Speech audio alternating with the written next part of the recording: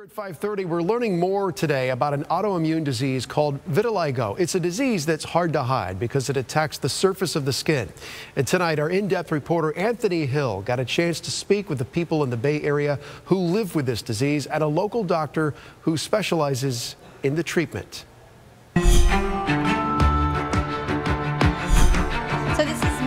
Um, in 2016. It was early on when it started to spread, but as you can see, I was far more browner in the areas that are really noticeably white now. Evelise Mendez was 16 years old when she first noticed a white spot behind her neck. It was alarming because I'm, you know, just darker skin, so it was something very different. And we went to the dermatologist and they confirmed at that time that I had vitiligo. Vitiligo is an autoimmune disease that attacks pigmentation causing people to lose their natural skin tone. So this is one of the products that I use um, that is super helpful for me. It actually helps a lot with covering the white spots. As you can see, I have this large area. I wanted to find out more about this disease and what's being done to find a cure. So I went to the office of Dr. Seth Forman. Hello. He runs a dermatology practice in Tampa and is an expert in treating vitiligo. Dr. Forman told me vitiligo can be reversible, but chances of that happening are best if it's treated within the first two years of onset. I have a lot of confidence that we can recapture the pigment both with topical medications as well as phototherapy. Phototherapy is done in what looks like a tanning booth, but there are big differences in the way they are used. So this is the narrowband ultraviolet B phototherapy unit. This provides phototherapy that, that have generalized vitiligo as well as some other skin conditions such as psoriasis or eczema. But for these purposes, patients with significant vitiligo get into the booth, that we close the booth, and then we turn on the lights. And this light therapy is what's supposed to help repigment the skin by sort of scaring away the white blood cells that are attacking the pigmented cells on the top layer of the skin. Doctors still don't know exactly what causes this autoimmune disease, but here is what we do know.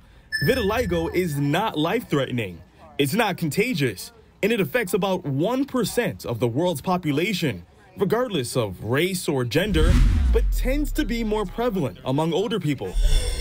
So we're very excited to have a proclamation recognizing Vitiligo Awareness Month in the state of Florida. Tanja Johnson is a vitiligo activist and she started a vitiligo support group in 2018 called Beautifully Unblemished. The group is based here in Florida and has about 230 members. And it was founded because there were no support groups here in the state of Florida when I was diagnosed in 2014 with vitiligo. Members of the support group are arriving for their quarterly gathering to relax and catch up with each other. And then I moved to Florida and I decided something new. I'm not gonna wear makeup no more. I'm just gonna be me. And I was scared because I wasn't sure how people were gonna receive me.